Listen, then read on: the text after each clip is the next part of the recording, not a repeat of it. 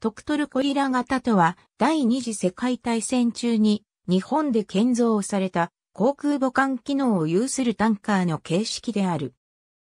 戦時標準船の一種であるトルコリラ型タンカーを原型として設計された。特トルコリラ船とも。第二次世界大戦中、南方の日本軍占領地からの資源輸送船団は連合国の潜水艦から攻撃をしばしば受けていた。そこで、1943年、日本陸軍は、商船に簡単な改造を施して、若干の対戦哨戒機を搭載した簡易な護衛空母とし、輸送と船団護衛を同時に行える船を提案した。この提案に対して海軍は、沿岸基地からの陸上機による哨戒の方が有効であるとして反対していたが、最終的に建造に同意した。そして、戦時標準船のうちの大型タンカーであるトルコリラ型を原型として建造することとなった。トルコリラ型はもともと特設空母への改装も想定しており、第一次船舶建造計画で設計された特1トルコリラ型では最高速力15キロトンと比較的高速であった。軍艦としての特設艦船ではなく、あくまで民間船として建造し船員も民間人とされ、その上で配当船と呼ばれる方式で、軍管理下とする運用が計画された。この点、イギリスの MAC シップと極めて類似した構想と言える。ただし、ミッドウェー海戦の敗北以降、空母不足に悩んでいた日本海軍は、場合によっては艦隊型空母の補助として、積極的戦闘任務に用いることも想定していた。全通式の飛行甲板を発達した二角農庫が設けられ、エレベーター1機が設置された。煙突は日本海軍の空母の多くと同様、船体速報に廃棄するようになっていた。搭載機数は10機前後で、海軍配当船では93式中間練習機、陸軍配当船では3式式連絡機を通常は使用することが予定された。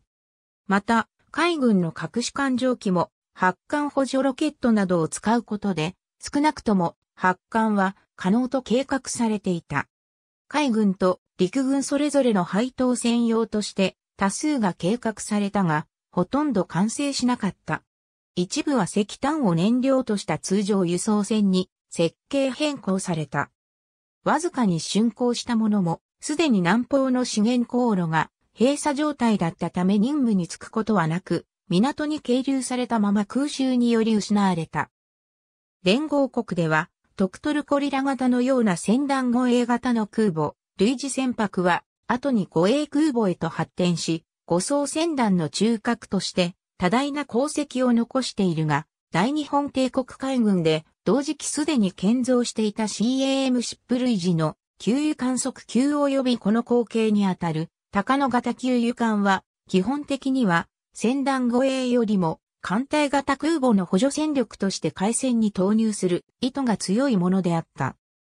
また、大日本帝国で唯一小型の特設空母が随伴し、構成船舶も20キロトン級の比較的有速の有料船舶ばかりで構成された、非船団において、非74船団で、潜水艦の来撃で喪失した運用が、その戦闘商法において、空母が船団と同速力にて、運動する破砕も不可なりと明言し、低速の輸送船団に空母を同行させる編成を抜本的に見直すよう提言するなど、海軍では船団護衛型の空母類似船舶の量産に消極的な意見が多く見られた。原型となったトルコリラ型船標船には計画時期によって異なった形式が存在しており、原型の分類に合わせて特1トルコリラ型、特2トルコリラ型などに分類された。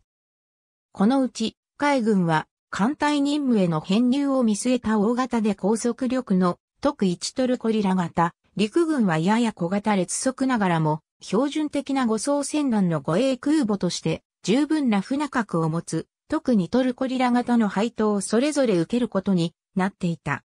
武装も特1トルコリラ型は対空戦闘を重視した構成なのに対して、特にトルコリラ型は対戦戦闘を重視し苦戦艇並みの対戦兵器を与えられていた。